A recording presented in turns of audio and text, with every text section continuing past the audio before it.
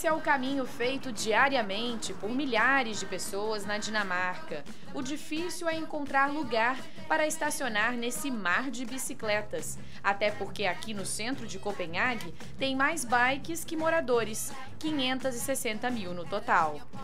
Essa escolha tem um motivo óbvio: a integração do transporte público. Um único cartão libera várias viagens de metrô, ônibus e trem. Esse professor diz que usa a bicicleta para vir até aqui, porque trabalha longe e precisa do trem para chegar lá. Uh, É como a maioria das pessoas se desloca na cidade e você não precisa de um carro, e isso é muito legal, ele completa. Com sete linhas de trem e 32 estações só na área central da cidade, dá para dizer que Copenhague também anda sobre trilhos. Nós estamos aqui na estação central de trem de Copenhague, agora nós vamos comprar a nossa passagem. Você seleciona aqui a região para onde você quer ir e você não paga por uma pessoa diretamente. Você mesmo vem até esse terminal e efetua a sua compra. Continua aqui. E então coloca o dinheiro.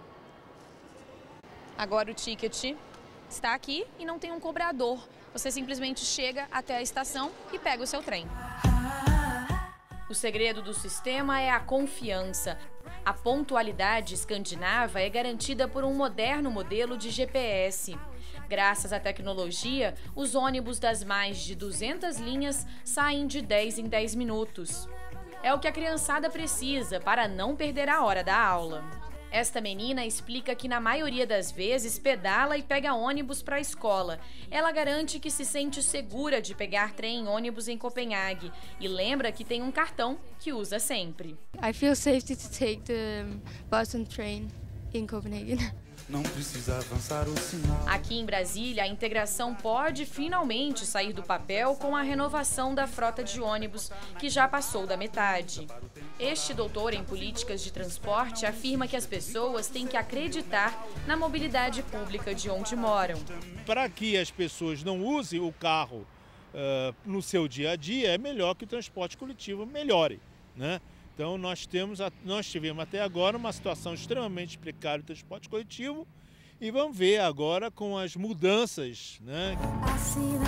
Na próxima reportagem, você acompanha como Copenhague se transformou em uma das melhores cidades do mundo para ciclistas. E mais, será possível copenhaguenizar Brasília?